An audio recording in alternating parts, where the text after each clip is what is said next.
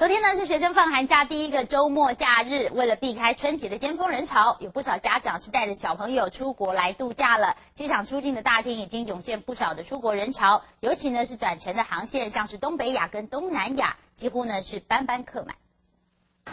桃园机场出境大厅人来人往，各家业者柜台前挤满报道旅客。放寒假的第一个周末，不少人就惜家带眷出国散心去。过年会亲族家人。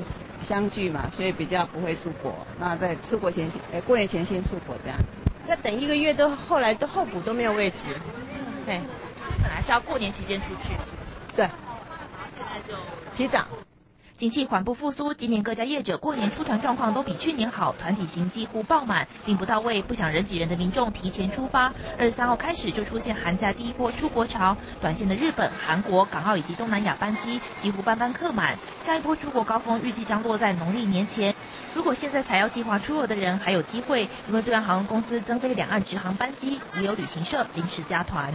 大陆还是最最多机会的，因为大陆的线太多了。嗯。所以那合起来没有全部全部卖完。业者表示，春节到中国旅游还有机会订到团，而其他的航线越接近出发日期，航空公司都会有一波清仓，到时候可能有零星座位释出。想自由行的民众可以先向业者登记候补，或许还有机会买到票。记者综合报道。